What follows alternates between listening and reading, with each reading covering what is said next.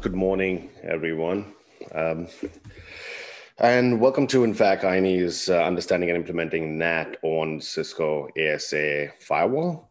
For some of you who do not know me, I am uh, Rohit Pardasani, and I am a full-time instructor with INE. Been in the industry for about 20 years now. I have five CCIEs, CCIE and route switch, security, voice, collaboration, and service provider. So today our main focus is going to be on the ASA NAT feature. How does how ASA is different from the IOS XE? So we would focus on ASA mainly, and uh, we would look at different kinds of NAT on ASA, what support we have. So basically, dynamic NAT, dynamic PAT, uh, static NAT, static PAT. We would look at uh, different sections of NAT, like section one, section two, and section three. The order of NAT, how NAT um, uh, basically the lookup for NAT happens in the ASA. We would also look at some packet tracer commands to see the order of operation for NAT. Now, if you look at uh, NAT, obviously ASA supports NAT. It supports dynamic NAT. It supports dynamic PAT. It does support static NAT, static PAT. It supports twice NAT also. Um, the key difference between the word dynamic versus static is that dynamic is many private IP addresses are hidden behind a range of public IP addresses. Typically, you would use dynamic IPs when, let's say, you, as the LAN segment, want to access the internet. However, the, the key limitation in dynamic NAT is that it's many to a range which means if the range of IP gets full or it's allocated to someone, the traffic, the remaining traffic gets dropped. It's an IP to IP translation. The port address does not really get translated in dynamic NAT. So let's say if I have a LAN segment, maybe 192, 168, slash 24, and that is trying to access the internet. And let's say I have five IPs, five public IPs available. So at that point of time, five source addresses would be translated to uh, the five public IP addresses. The source port, destination port does not change. The destination IP also does not change. The only thing that changes in dynamic NAT is the source IP. So if five PCs from the LAN go outside, the sixth PC would get dropped. So that's dynamic NAT. Now, obviously, that's really not convenient because I'm not going to go and buy hundreds of IPs because I have hundreds of PCs. So that's where dynamic PAT comes in, where many private IP addresses are hidden behind a single IP. The difference here is that the source IP gets translated to one single IP. So source IP gets translated. However, the source port also gets translated to a unique port. So that's that's how the ASA knows that when the traffic is coming back, destined for an X IP for an X port, it it knows that okay, this port was assigned to this PC, so he he sends that packet back to the PC in the LAN segment. So the ASA would would dynamically assign a random unique port for the source. So in dynamic PAT, source IP and source port gets translated. Obviously, it is unidirectional, so you can access the internet. Internet would not be able to access you.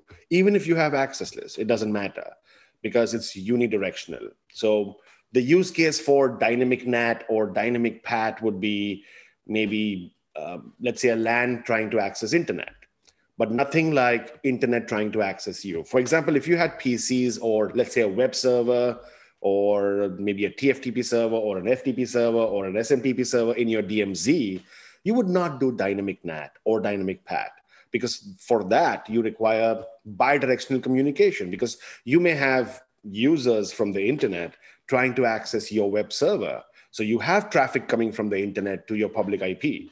So that's where you would do static NAT. So dynamic NAT, unidirectional. Only source IP gets translated. As far as dynamic PAT is concerned, again, unidirectional source IP and source port gets translated. Static NAT is one-to-one translation. so one private IP address is hidden behind one public IP address.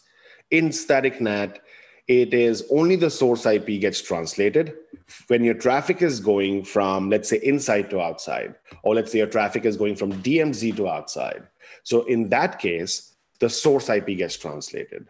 If the traffic is coming from outside to inside, the destination IP gets translated. So that's why static NAT is bi-directional. You can access the internet and internet can access you. Obviously, you require access list for lower to higher traffic coming in from internet to DMZ. You require access list, but still, when once you have an access list, your your your web server would be accessible because static NAT is bi-directional.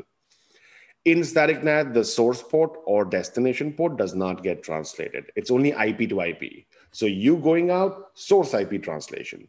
Outside to inside, destination IP gets translated. So that is static NAT. Static PAT is is where it's it's not bidirectional static PAT. Static PAT is unidirectional. So if you go outside, you can translate the source and you can translate the destination. Typically, static PAT is used when you want to put conditions. For example, let's say if I say that this user, if he tries to access this branch office, then do a translation for him. Let's say if he's trying to access a specific port, maybe 7001.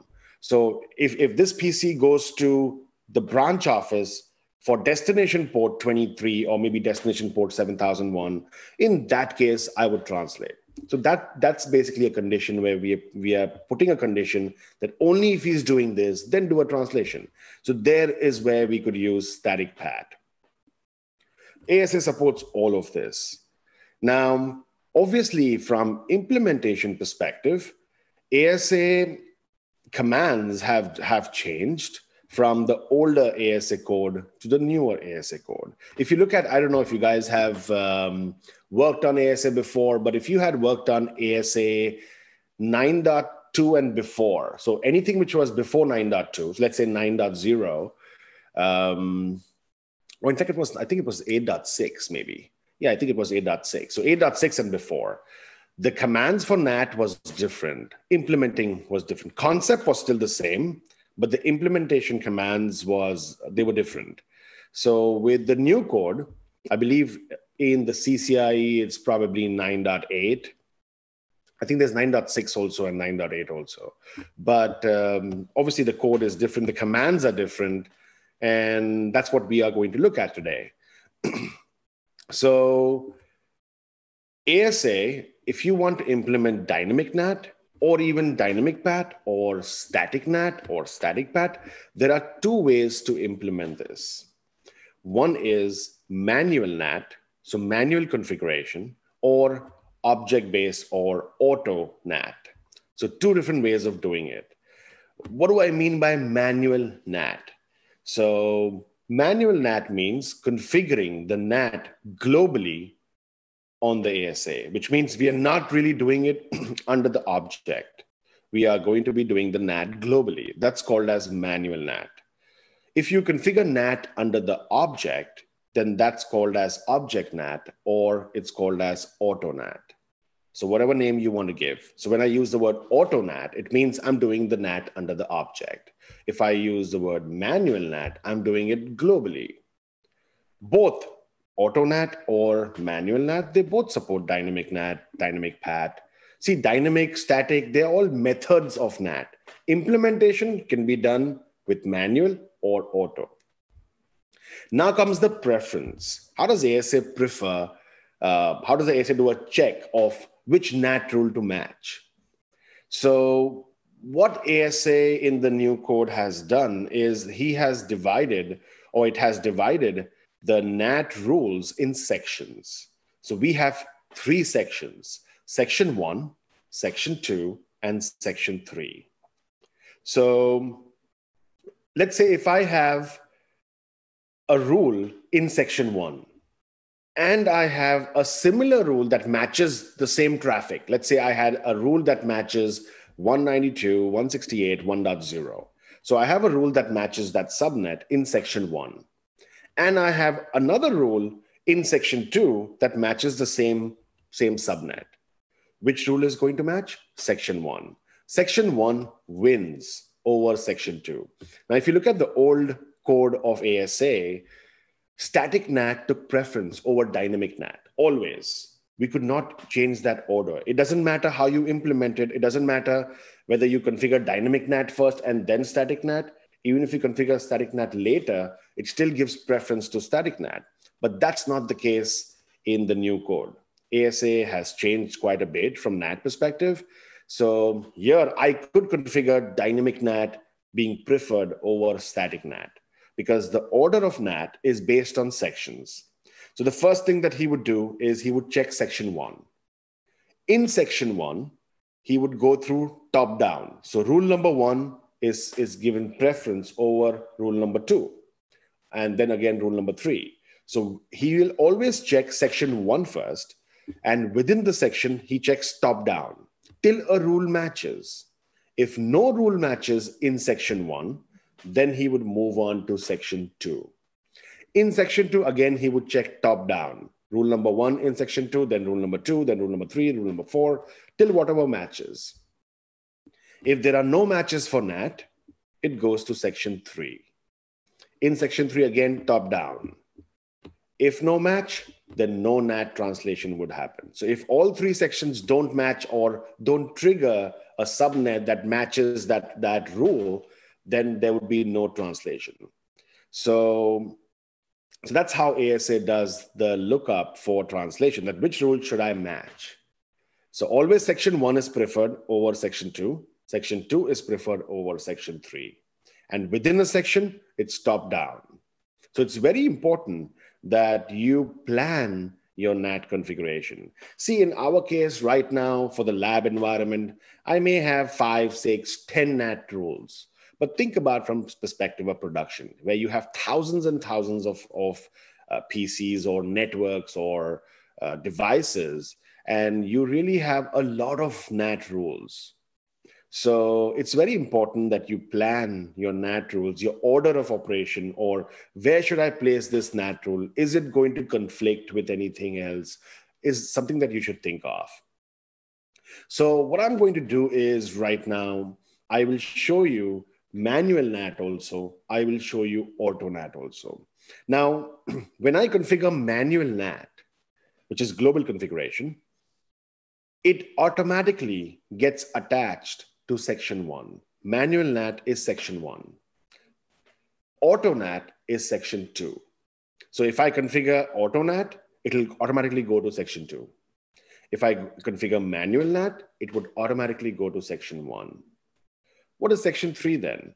Section three is also manual NAT. But the difference is if I don't specify that this rule needs to go to section three, by default, manual NAT has section one. So if I configure manual NAT and I don't specify anything about which section to place this in, it goes to section one. But if I want, I can place the manual NAT in section three. So, how would I plan my NAT statements? See, general rules, like for example, my entire LAN segment needs to access internet. That's a general rule. I would always place that at the bottom. Now, where would I place that? I would place that probably in section three, because that's the last preference section. So I would place that there. Specific rules, I would put them right on top, maybe section one. So maybe I put like my um, NAT exemptions in section one. Maybe I put my VPN rules or mission critical traffic in section one. I put my gen my um, not so general but still important maybe in AutoNAT, and then all the general rules like normal traffic, normal internet access, which is matching the whole scope of the company, like everybody in the LAN segment. I would put that in section three. So doing it this way, it kind of helps you in not going back and rearranging your NAT rules because order is extremely important. The order of the rule is extremely important. So, like I said, section one is manual NAT, section three is manual NAT, section two is auto NAT. Now, why should you not do auto NAT? Why is auto NAT not recommended? because with AutoNAT, I cannot adjust or rearrange my NAT rules. So when I add a NAT rule, it automatically goes at the bottom of section two. So imagine if I had hundreds of rules in AutoNAT and I need to add one NAT rule, it would go at the bottom of, section of section two. But what if there's a conflict and maybe uh, rule number five in section two is matching the same NAT rule, which is the last rule that you created? In that case, with AutoNAT, I'll have to go and remove all my 100 NAT rules and then maybe edit that in a notepad, put my new rule on rule number five, and re edit all the remaining rules, and then re add the NAT rules. That's really not convenient. With manual NAT, I can just add a NAT rule and say, place this in rule number five. So whatever was at rule number five goes to rule number six automatically. So that's the best part about manual NAT. That's why manual NAT is recommended and you should not use AutoNAT. I personally don't really use AutoNAT that much. I use manual NAT mainly, but I have seen a lot of organizations still using man uh, AutoNAT. Um, I guess maybe they prefer that, but I personally do not recommend that because you cannot really adjust. It's like saying an access list which is a numbered access list. You cannot edit the uh, numbered access list. With named access list, I can remove something, I can add something, I can add a line. So named access list is better than numbered access list. It's the same concept that you should use probably manual NAT than using AutoNAT. So for demonstrating NAT, for demonstrating dynamic NAT, and we look at packet tracer also, for demonstrating that, we would be using this topology here. It's a pretty straight, simple topology. So I have CSR5 on the left side, which is kind of going to act as the internet. ASA, and then on the LAN side, on the inside, I have CSR8, which is going to act as a PC in the LAN segment. And what I have pre-configured just as a setup I have pre-configured OSPF here. So there's in the LAN segment, I am running OSPF. And there's a default route being advertised by OSPF. So 0.0.0.0 slash 0 is being advertised by OSPF. This side, the WAN side, is not running any routing protocol.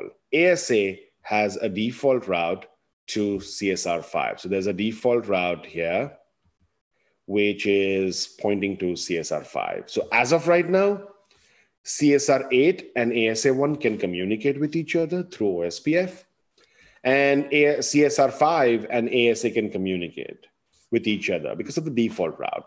But 8 and 5 would not be able to communicate at this point of time because there's no routing CSR5 on the internet does not have route back to the private IP address, which is running on CSR8. So it's pretty much like how you would normally see. Um, so for, for, for CSR8 to get access to internet, we have to do NAT. That's what we would have to do. So the first thing that I'm going to demonstrate to you is going to be dynamic NAT. And I will first show you auto NAT. So I will not do it manually. I will show you if, if you have to configure dynamic NAT and you're using auto NAT, um, then how do we do that? So everything in the ASA is object based. You have to create objects. Unlike the old ASA code where we didn't need objects, we could just directly put a NAT statement with the IP address or the subnet. But with the new ASA code, we have to use objects or object groups. And it kind of makes sense because let's say if I had a web server, maybe I had like five, six servers in my DMZ, and uh, maybe their IP address changes. What's going to happen? I would have to go back to all my NAT rules, remove them, even if it's manual NAT, I will have to remove them and re-add the NAT rules with the new IP. But if I do it object-based, it's pretty straightforward. All I do is change the IP in the object, and the NAT rule gets updated automatically. So that's why with the new code, objects or object groups is mandatory um, than using a straight IP. So let me quickly show you. So if I look at CSR8 right now, and if I do a show IP route OSPF, hmm. I do have a default route. Can I access CSR5? So let's say if I do a ping to 150.551, which is the loopback of CSR5, I would not be able to access that. Again, many reasons I'm not able to access. One reason would be that there's no route back. CSR5 does not have a route back to CSR8. The second reason would be uh, ASA is blocking the ICMP echo reply coming back because it's not inspected. But let's say if I do telnet to 150.551, uh, ASA is going to permit this traffic to go out. But again, the traffic gets dropped because reverse traffic, there's no route. So I have to do NAT. So let's do NAT. What I would do is, so this segment right now between the ASA and CSR8, that I believe has been configured for 10.0.0.0 slash 24. I believe it's slash 24, but that's the network. And what we would do is we would we would map this entire subnet to a range of IP. If you remember, I told you that dynamic NAT was many private IP addresses hidden behind a range of IP. So let's uh, NAT the, this entire range to 155.1.35.101 to 102. So I'm just giving two IPs. So what's going to happen? Once the first PC from the LAN goes outside, one IP gets allocated. Once the second PC goes outside, the second IP gets, gets allocated. What happens when the third PC from the LAN goes outside? When the third PC goes outside, when the ASA gets the packet, he sees that, okay, it matches a NAT rule. It matches the NAT rule, dynamic NAT rule. Since the NAT rule matches, if, in fact, it's a condition, if a NAT rule matches, you must translate him. You have to translate him. So ASA sees that, okay, I have a traffic coming from the LAN segment. It matches a NAT rule. However, I do not have a NAT public IP available in the NAT pool. I don't have an IP available. Both the IPs have been taken by the first and the second PC. So what does ASA do? Since no IP available, drop the packet. ASA would drop the packet if there's no IP available. So that's the problem with dynamic NAT, that it's many to a range but only how many ever range IPs you have, only those many PCs can go outside at, at any given point of time. Let's try this out. And I will do AutoNAT first. So let's go back to my ASA. Let me in fact take this here. So it goes away. All right. So as of right now, if I do a show run NAT, I have absolutely no configuration. If I do a show run objects, I have no objects, no object groups, nothing has been really configured. Only thing has been configured is IP address and OSPF on the LAN side. So this is my show run interface. I have my IPs configured and show run router OSPF. I have OSPF configured and show run route uh, route show run route i have a static route configured towards the wan side towards internet. So let's go and do the nat. Now you remember i said that auto nat means configuring the nat under the object. How many objects would i need if i was translating the entire LAN segment, which is 10.0.0.0 slash 24, to a range of IP, which is 155.1.35.101 to 102. How many objects would I need? I would need two objects. One that matches who I have to NAT, and one that what should they be translated to. So two objects needs to be created. Let's create them. So the object network. It's a network object. And let's name this as, um, let's say, public range, whatever name you want to give. Obviously, give relevant names. I'm just using public range. And here I would give my uh, subnet, or in fact, range. So range would be 155.1.35.101 to 155.1.35.102. So first object created, show run object. I have a public range created, which starts from 101, ends at 102. Let's create another object that matches who we are natting. So object network, let's, let's put this as LAN 10.0.0.0, just any name. Here I would say subnet 10.0.0.0, 255.255.255.0. So now I made the object for who we are natting also. Now I need to configure NAT. For AutoNAT, I would do the NAT under the object. Now I have two objects. Which object should I configure NAT under? It should be your pre-NAT network. So I have two objects, right? Show run object. I have, this is my post-NAT network. This is my pre-NAT network. So who we are NATing, that's where you go under that object and configure NAT. So I would give the command NAT, and then I say open parenthesis, uh, real interface name, mapped interface name. So now always visualize your traffic flow. So if you look at the diagram, visualize your traffic flow. Where's the traffic coming from? It's coming from LAN. Which interface would it hit first? Inside. Where is it going? Outside to internet. So which means there are two interfaces involved in this transaction. Inside going outside. So my pre-NAT interface or the real interface would be inside and my post-NAT interface or the mapped interface would be outside. So I would go back and say, open parenthesis, inside, comma, outside. That's what the syntax says. You give inside and then outside. So give your internal interface name, which is the pre-NAT interface, and then give the external interface name, which is the post-NAT interface. Let's close the parenthesis. And now I have options here. A common mistake is that people would use any of these three commands. Don't use these three commands if you're doing AutoNAT, because this is a configure mode command. It will accept the commands and will configure it in manual NAT, as manual NAT.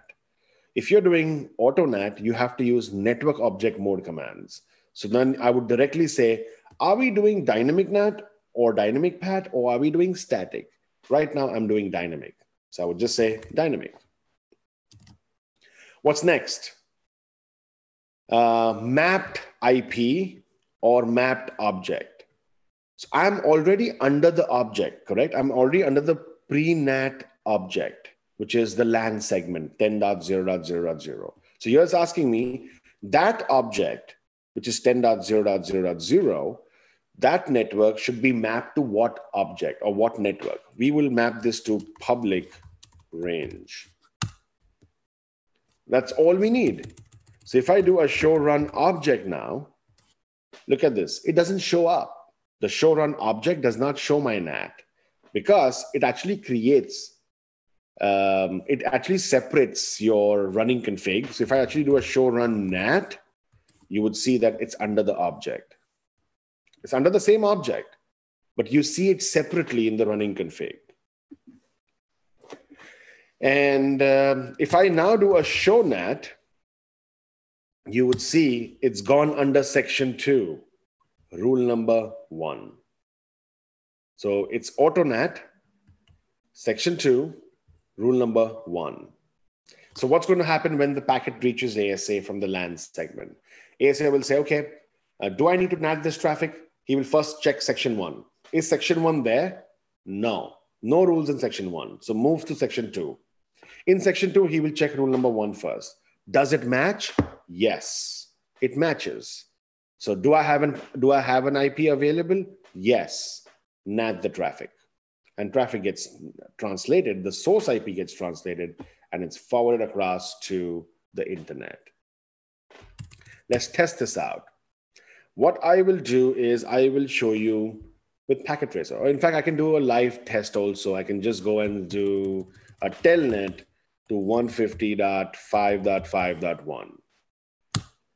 So if I try the telnet, it should work. It just did. So telnet works. And if I do a who, you would see that I don't see the original IP of, of R8, which was 10.0.0.8. I see the public IP, which is 101. So the internet does not really see my private IP address. They only see the public IP address. So the first IP was assigned 101. Now, what happens when the second PC goes outside? Let's do a packet tracer. I don't have another PC to test this. I will use packet tracer to test this. So packet tracer input inside TCP 10.0.0.2, my second PC, source port 12345, destination 150.551, destination port, let's say 80, uh, web server. So HTTP. Let's try this. What happens? Packet came to the ASA. ASA did a routing lookup. Do I have routes to go to internet? Yes. Use the outside interface. Packet came where? It came on the inside interface. It's going outside. Do I need to NAT this traffic? Does it match any NAT rule? It matched this NAT rule. Since it matched a NAT rule, it must translate. So it got translated to the second available IP, 102. It got translated. Now, what happens when my third PC goes outside? So let's go and do number three. When the third PC goes outside, it matched the NAT rule, which you can see here. It matched, but look at the difference. Earlier, I was seeing it match the NAT rule, and the additional information, I see the NAT translation. But here, I see it match the NAT rule, but in additional information, I don't really see anything, which means it matched the NAT rule, but there was no IP available, so got dropped. It says allow here because ASA is kind of funky with these things. But if you go at the bottom of your screen, right at the bottom, you would see drop. Packet got dropped. But if you want to see why it got dropped, you could probably do a logging on and do a logging let's say buffered seven. And let's try the packet tracer again and do a show log. You would see NAT pool exhausted, unable to create TCP connection from this PC to go outside. So packet got dropped because there was no NAT IP available. This is dynamic NAT. And look at the, the packet tracer if I look at the packet tracer for the PC, which was working, the PC number two, for this, it, it did translate. And what did it translate? You remember I said dynamic NAT only translates the source IP. Source IP changed to this address. Source port remained the same. Source port did not change. Destination IP did not change. Destination port did not change. This is dynamic NAT. And I configured this as auto. Now let's try the same thing as manual NAT. If I was doing manual NAT, all I have to do is configure NAT globally. Don't configure it under the object. Configure it globally. So NAT, again, the syntax is the same, open parenthesis, inside, outside. But the difference here is I would use configure mode commands. So I would now say source if you want the rule to go to section three, you would say after auto. So put this rule after auto, which is section two. So it goes in section three. If I don't specify after auto, it means it will go by default in section one. So let's say, and if you want to, let's say, insert a NAT rule somewhere in the middle in section one or section three, you can give the sequence number. So right now I'll just say source what are we doing? Are we doing dynamic NAT or are we doing dynamic PAT? We're doing dynamic NAT. So let me in fact uh, create one object just to show you that section one wins over section two. I'll make one more object. Let's say object, um, or let's say public range two. and say range 155, 135 dot, let's give 201 to 155, 135, 202. And let's go and create a NAT rule now. So NAT inside, outside. Source dynamic. Now it's asking me, who are we natting? So the real source.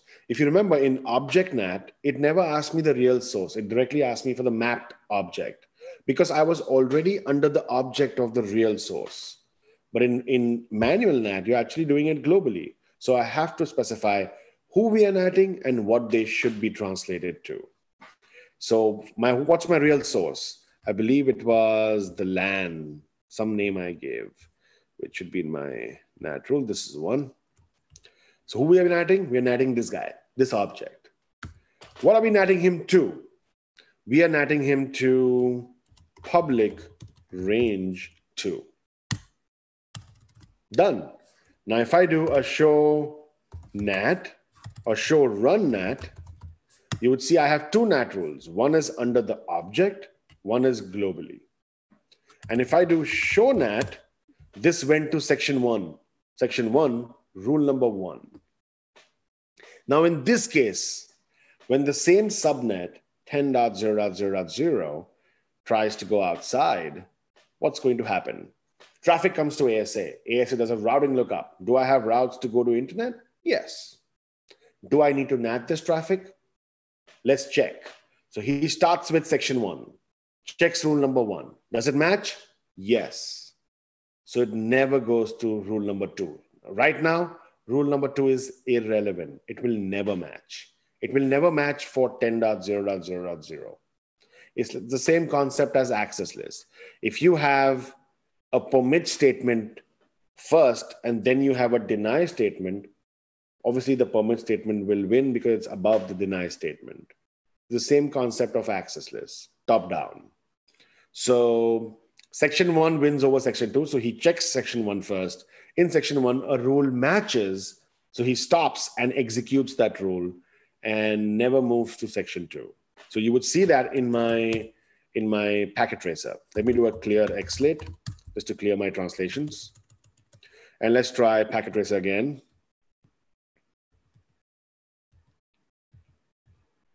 I believe, yeah. So let's try packet tracer. I will try with the first PC. First PC went outside. What IP did he get? 201. He did not get AutoNAT because section one wins. When the second PC goes outside, he should get 202. He got 202. What happens when the third PC goes outside? Do you think this time, since there's no IP available in section one, do you think he would go to section two? If you say the answer is yes, then I would say that's wrong. If a rule matches, it only executes that. It will never go below that. So so if I do uh, rule number three, it matched the rule number one in section one, but there was no IP available. Packet got dropped. So the, this rule now, which is rule number one in section two, this is irrelevant. It's not doing anything. It's never going to match. So that's why it's important that you place your rules correctly in the right order.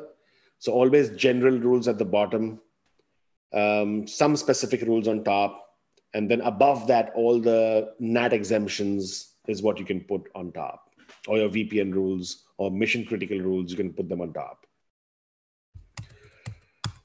So this was manual NAT,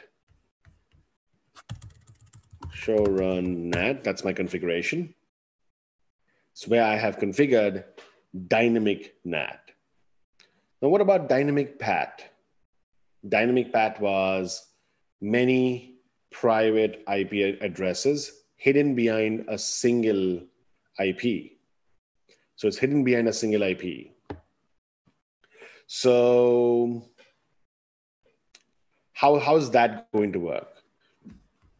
Obviously, dynamic PAT is more preferable than dynamic NAT because dynamic NAT, I need 100 IPs, 100 public IPs for 100 private IPs. That's not scalable. So we would do dynamic PAT. So many to one. But here, the source IP and the source port would get translated. So let's try and do that. Again, I will show you both. I would show you um, auto and I would show you manual. Let me go and clear this. Let's do a clear configure NAT. So show run NAT. I have no NAT configuration. And let's do a clear xlate. So I only have objects. Okay. Let's make an object for the PAT translation. Now, in if you're doing dynamic NAT, you need to have at minimum two IPs, which I gave here. At minimum, you need two IPs. You can have more IPs also, but you need to have a minimum of two IPs if you're doing dynamic NAT. If you're doing dynamic PAT, then you require one IP. So you must have an object which contains one IP. Let's make that object network. Let's name this public IP. And here, instead of me giving range or subnet, I would say host. Host 155, 135 dot, let's say, let's give this as 150. So now I have one single IP. If I was doing AutoNAT, I would go and go to my, my pre-NAT object, which was, I believe it was this one. So go under my pre-NAT object and just say NAT inside, outside. Don't use source command, use directly dynamic, and then give the object name, which is going to be public IP. That's it. So you see the command didn't really change whether I was doing dynamic NAT or dynamic PAT. The command didn't change. What changed was the, the content inside the object. In dynamic NAT, in the object, I had two IPs versus in dynamic PAT, in my object, I had a single IP. But the NAT command remained the same, whether I was doing dynamic NAT or dynamic PAT. What's the difference now? If I do a show run NAT, that's my NAT configuration under the object, so section one. So if I do a show NAT, I should see this in section one, or section two, in fact, because it's auto NAT. And let's do a packet tracer to test this. Clear Xlate. Always do a clear Xlate before you test in a lab environment. So packet tracer, input inside, TCP 10.0.0.1, 1, 2, 3, 4, 5 destination 150.551, uh, let's say 23 or 80, whatever you want. See the translation. It matched my dynamic PAT. Source IP got translated to this range, to this IP. Source port also got translated from 12345 to 12345. It got translated. The reason I don't see it here but the translation has happened. The reason I don't see it is because if that port is available, he would assign him the same one. But translation did happen. Let me, in fact, show you that. I will try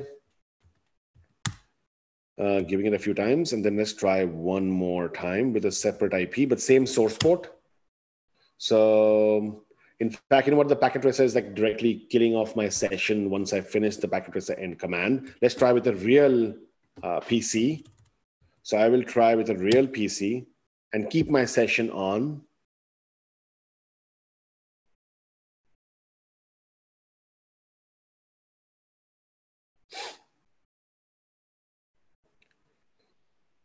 So this should get translated to that 150 IP and the source port should also change. The first packet kind of takes time maybe because virtual ASA.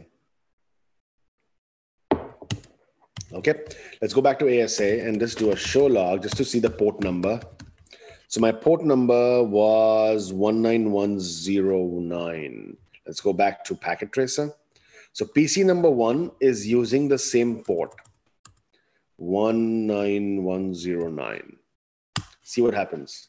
Source IP changed to the same IP, but the source port changed to 2803, randomly assigned by the ASA. So now this port is for this PC. Any reply that comes back for destination port 2803, ASA would forward that to 10.0.0.1. So this is dynamic PAT, where the source IP and the source port gets translated. I don't really see it in packet tracer because by the time I execute the packet tracer command and then I execute the second time, my first session is already gone because it's not really a actual packet. So if you try it with an actual PC or a router behind, then that session is kept on. It doesn't get terminated. So, so the port doesn't get free if my session is on. So right now my session is of telnet is still on. So that port is busy for CSR8. So that's why ASA had to assign him a different port number. So it did a translation for the port also. This is dynamic PAT, auto-based. Let's try it uh, manual NAT. Again, I'll try this um, globally, obviously because I'm doing section one. So let's make a new object and let's name this public IP2. And let's put the host as 155.135 dot, let's put this as 200. And I would give the command nat inside, outside, source dynamic. Who are we natting? We are natting the LAN segment. To what are we natting him? To public IP 2. That's it. Show run nat. I have two nat rules. One is manual, one is auto. Auto is in section two, manual is in section one. Which nat rule will match now? If I check now, and let's say I do a packet tracer again, believe it is here. If I do a packet tracer again, see what IP I got. I got 200. This port was available. So he gave it to him. It was available. Why was it available? Even though my session is still on, which you can see, because this is a different IP it's a different IP uh, port is available. So that port is only mapped to an IP. So if the IP changes, the port is available for that IP. So it's a combination of just of IP and port, which they both are being translated. But if the second PC again goes outside, let's say 10.02, then he should get a different IP, different port. Let me try with CSR 8. And let's look at the log. Show log. My port number is this one. So go back to packet tracer.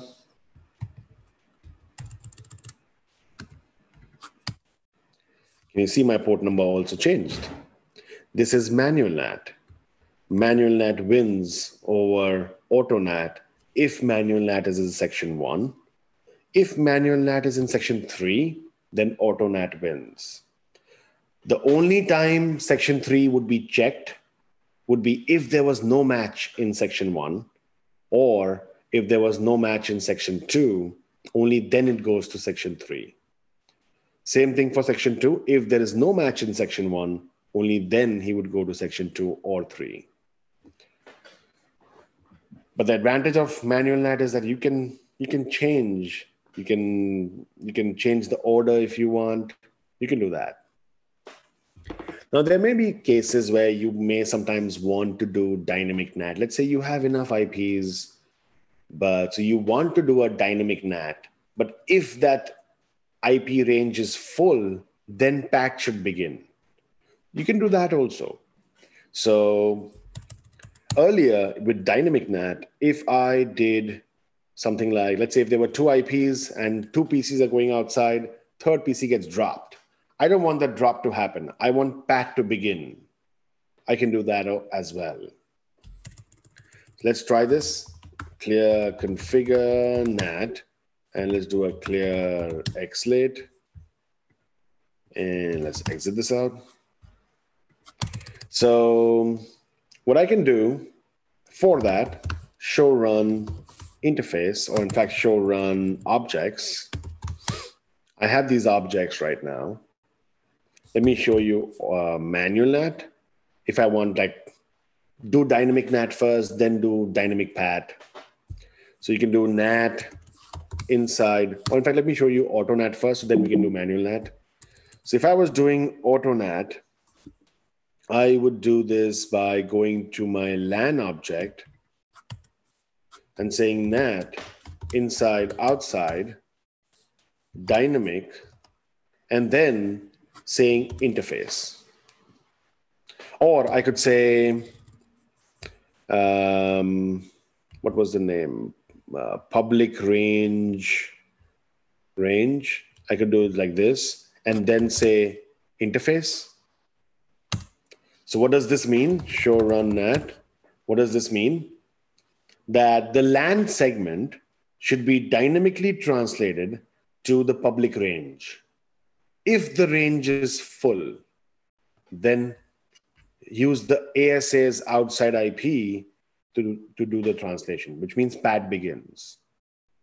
So I'm putting a condition. Think of it like, you know how we give uh, AAA commands like AAA authentication, do authentication with radius server first. If radius server fails, then go to the local database. Same concept. So I'm saying do dynamic NAT first. If the pool is not available, move to dynamic PAT. Let's test this out. Let's do a clear xlate and let's try doing uh, telnet. Telnet works. Let's try with packet tracer with a new PC, PC one. Packet tracer works. I got 102. Let's try one more PC. And let's change the port number also. This got pat translated to the outside IP address of ASA. So what happened? The first PC, which was CSR8, got 101 public range. Second PC got 102. Third PC got the outside IP address of the ASA, which you can see here, show run interface, uh, which is the outside IP address. So PAT translation happened now. So PAT begins. Once the IP from the range becomes available, PAT will stop and NAT begins. Once the IP is full, PAT begins again. That's how it's going to work. Same thing can be done even uh, with um, manual NAT. I could just go and say NAT inside outside, source dynamic, we are natting LAN to public range 2 and then i could say interface as backup. So backup is interface. However all traffic gets translated to the interface. So pat begins on the outside ip address of the asa what if i don't want that?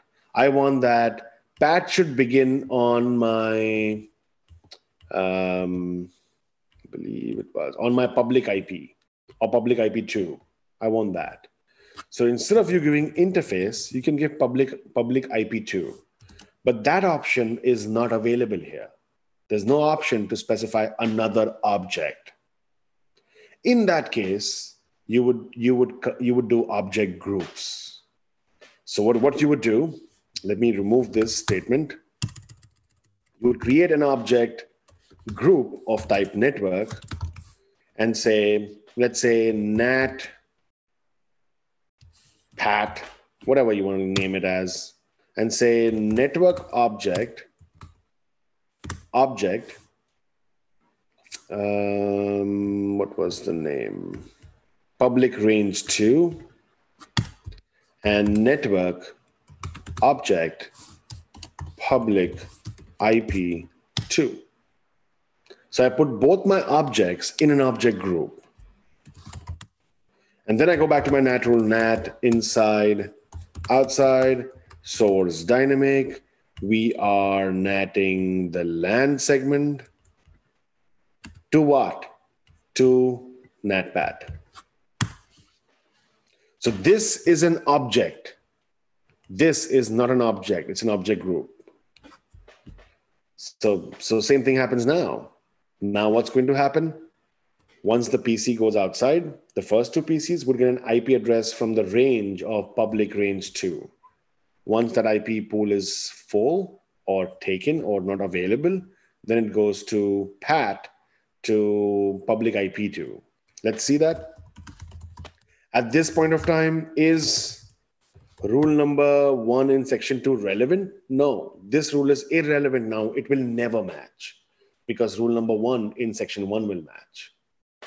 So if I do a packet tracer or maybe a telnet, if I do a telnet, you should see the first IP address going to uh, my CSR1 packet tracer input inside, TCP 10.0.0.1, 12345, destination 150.551, 80. That's my second IP, 201. Third PC going outside would get PAT translated to 200. Fourth PC also gets 200, but the source port is going to change. Packet tracer does not show that because that port is available once I finish the command of packet tracer. But if you have an actual PC, you will see the port translation also. This is dynamic NAT, dynamic PAT. The, the last thing that we will look at is static NAT. Um, static NAT is bidirectional. So you going outside, source IP gets translated, outside coming in, destination IP gets translated. So it's, so it's bidirectional. Let's say we had uh, maybe we had a PC in the DMZ. Let's say a web server. Let's emulate that. So I'm going to go back to eight. Let's do a show IP interface brief. Let's use this IP. Assumingly, this is my PC, which is my web server, maybe in my DMZ or my inside, wherever you want. So I need this PC to be able to access internet and internet should be able to access this PC. So let me go and do IP HTTP server and do a show run section line. Go to line VTY 0 to 15, transport input telnet, no login. And let's go and to ASA1 and create a NAT rule. I will leave these rules here I will leave these rules here. Let's make one NAT rule.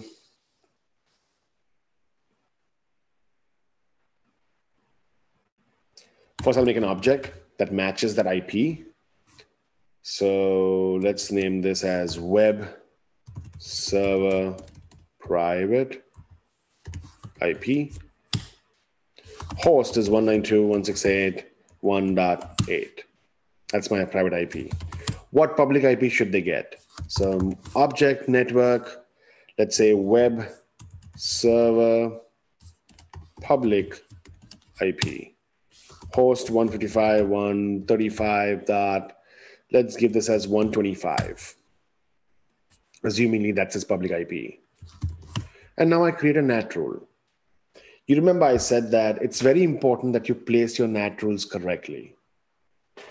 As of right now, I have one NAT rule in section one. I have one NAT rule in, in section two. Section two is irrelevant. Irrelevant for this subnet. It is irrelevant for this subnet. But let's say if the IP, if the source IP is 192, 168, 1.8, both these rules are ir- irrelevant. Because when it checks section one, this rule will not match. When it checks section 2, this rule will not match because the source IP is 192, 168, 1.8. So for it's a different subnet, right? So it doesn't matter where I place at this point of time. It doesn't matter. So if I go and just create a NAT object, let's say manually, inside, outside, source static this time, and I give map this private IP to this public IP. That's it. And if I do a show NAT now, you would see it's in rule number two now. Does it matter where I place it? No, because this is a separate subnet. It will never match for this subnet. and this is a separate subnet, it, it won't clash. So there's no problem there. So it's a one-to-one translation. Let's test this out. I will go to my CSR8, do a telnet to 150.15.5.1, sourcing from, I believe it was gig 1.50, 1.50, sourcing from that uh, network. I should see a translation happening. It did. Let's do a who. Look at my IP, 25. I got this IP.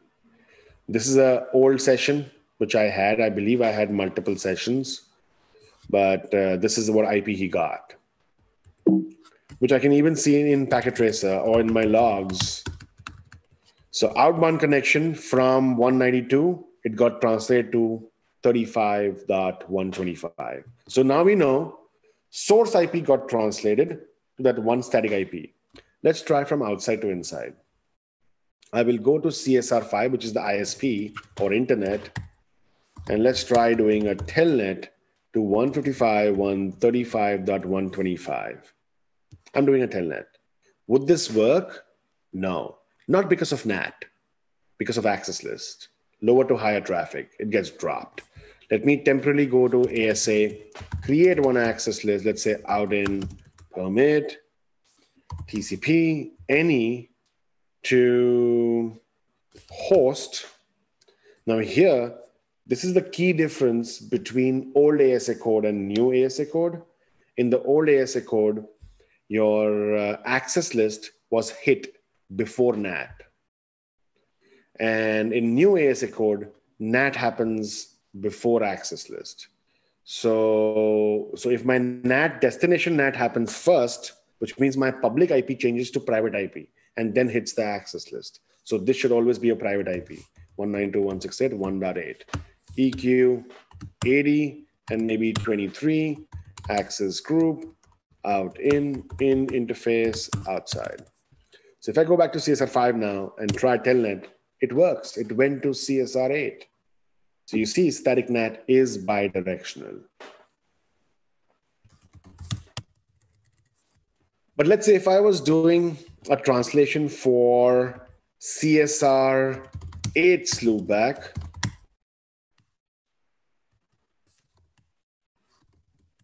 Let's say if I was doing a translation for this IP, 10.0.0.8, assumingly this was a web server, that's going to be a problem.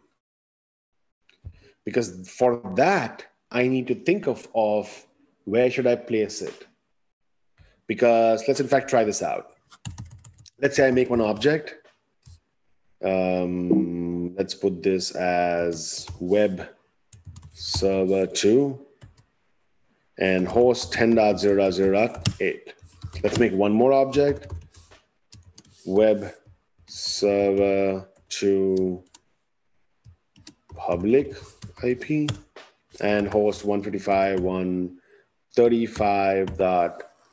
Uh, 199. Now, if I look at my NAT rules, show NAT. Because of this NAT rule, this rule is irrelevant. So it doesn't matter. As long as, uh, let's say if this rule didn't exist, then this rule matters. So if, if rule number one in section one did not exist, then my new rule that I'm going to be creating, that should be above section two. It has to be above section two. If you want to place him in section two, then you'll have to remove this because you cannot edit auto NAT. You have to remove this, put your new NAT rule first, and then re-put this back. But if you're not doing auto NAT, as long as it is above this NAT rule, which means in section one, anywhere in section one, it's okay. But because I have this NAT rule here, that's going to clash. So if I actually go and just say NAT inside, outside, source static, and give web server 2 gets translated to web server 2 public IP, uh, public IP. What did I give?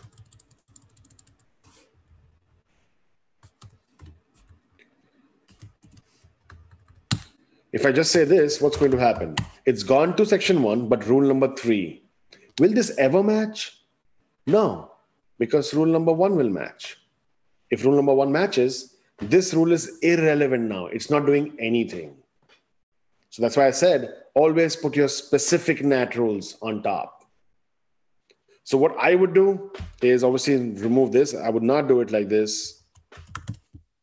I would go and re-put this NAT rule and go back here and say, put this in rule number one.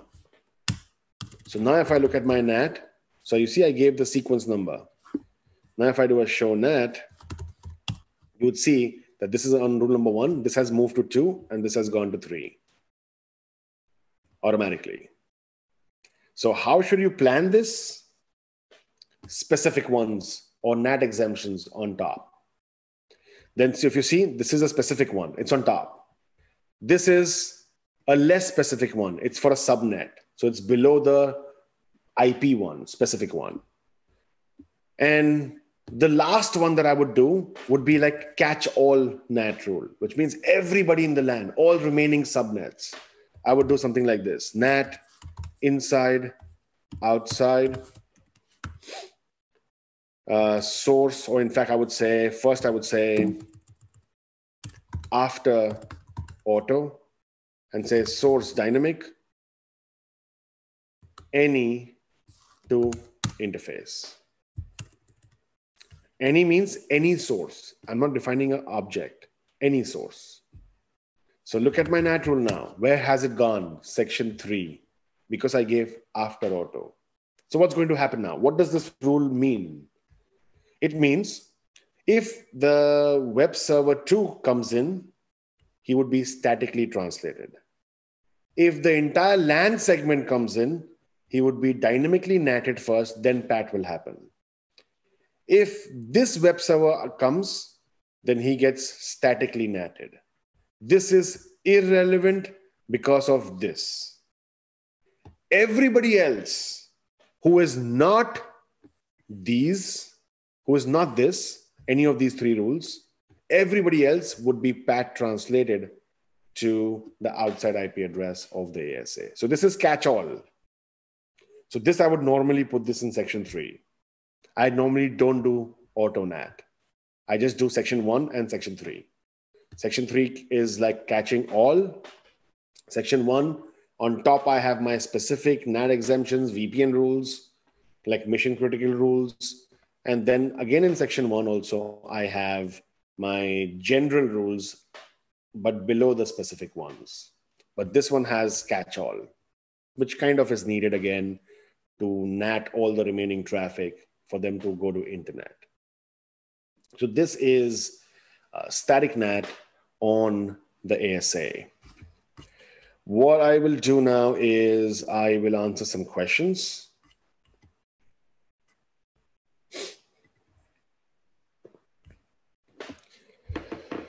Um, I see a question which says, uh, can you express manual NAT and auto NAT in some examples? I believe I may have answered those question, that question because we did some examples.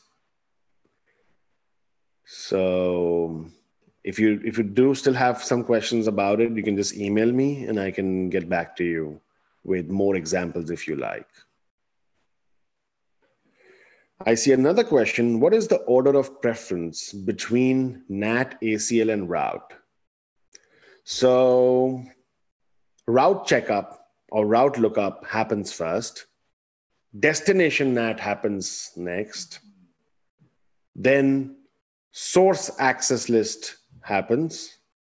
Then, source NAT happens. And that's the order. So it's always routing lookup first, then destination NAT, then your access list, and then your source NAT. Then I see another question. If there's no IP in the range for the NAT, the ASA drops the traffic. So how can we know there is no more IP in the NAT? There are many ways to figure that out. You can see your logs, or you can do a show xlate to see, or maybe a show xlate detail will show you that your pool is full. So mainly you can look at your logs.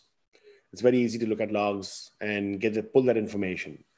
So, but normally you would not have that problem because I have not seen anyone not use dynamic pat as a backup. Because I don't think you would ever have some kind of requirement which says do a dynamic nat for a for some reason and not do dynamic pat. But in case if you do, then yes, the packet would get dropped and um, un- until the IP range is available.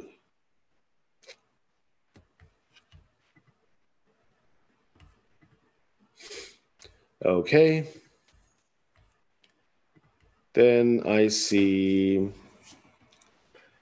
uh, in which case can I use section one NAT? Section one is manual NAT. So it's, it's the main, main one used. You don't want to use section two. Manual NAT is mainly used to, because it, you can rearrange the order. So it's, it's a preferred way of doing it. It's like saying do a named access list instead of a numbered access list. They both achieve the same thing. AutoNAT also achieves the same thing. But manual NAT is better because you can edit things, you can, you can reorder them. So it makes more sense.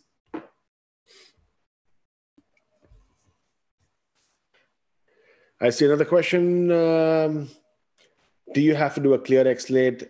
If yes, I mean, every time you make a change in your NAT rule, then yes, you have to do a clear xlate but you don't have to do a clear xlate in production because that would clear all your NAT rules. You can do a specific xlate clear, clearing your uh, specific xlate. You can just do a clear xlate and give the IP.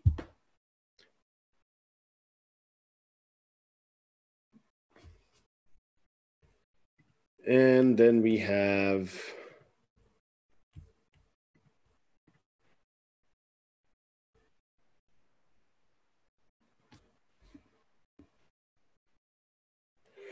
ASDM simplifies creating any type of NAT rules and visualize including rearranging NAT rules. What's your thought on using ASDM? I mean, ASDM is nice, it looks nice. I personally have always been a um, CLI guy. So, yeah, I mean, ASDM is pretty easy to configure.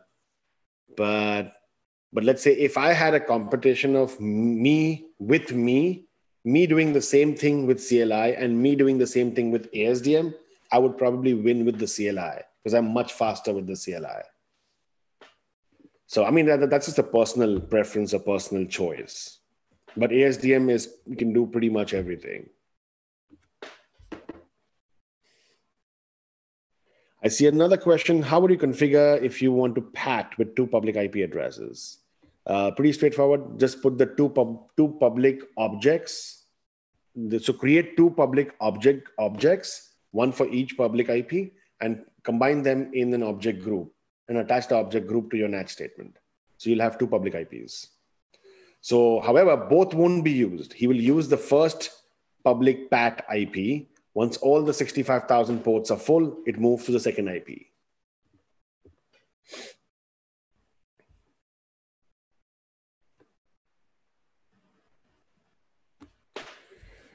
Um, I see another question in case of dynamic NAT, which IP should be allowed if there's an ACL in the inside direction? So I'm not really sure what that question means. Uh, so maybe you mean that uh, I have configured dynamic NAT and you are putting an inbound ACL on the outside interface from lower to higher. If it's lower to higher, that access list won't do anything because dynamic NAT is unidirectional. You can go out, but out can't come in. But let's say if you mean that applying an access list to the inside interface for traffic going outbound, then it's uh, your uh, pre-NAT. Because if you look at the order, routing lookup, destination NAT, then here's your access list, then is your source NAT. So if your traffic is going from inside to outside, who are we translating in dynamic NAT? Source IP. So has the source IP changed? No, because that comes after access list. So that's why we give the original IP, the private IP. If it's destination NAT, destination NAT happens before access list That's why we don't give the public IP, we give the private IP. So in both cases, it's private IP always.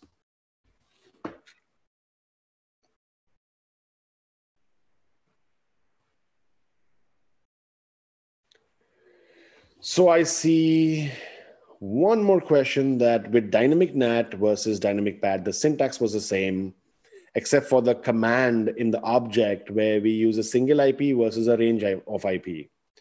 Can you use a PAT with a range of IPs? So if you want to use PAT with a range of IPs, you cannot use one object with a range.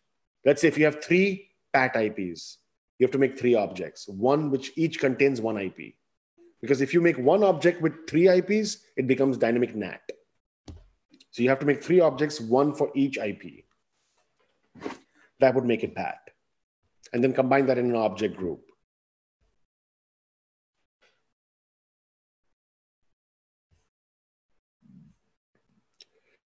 Okay. So I hope you guys enjoyed this webinar. I believe I do have another webinar coming up next month. Uh, that's going to be uh, for service provider people, which is InterAS uh, L3 VPN.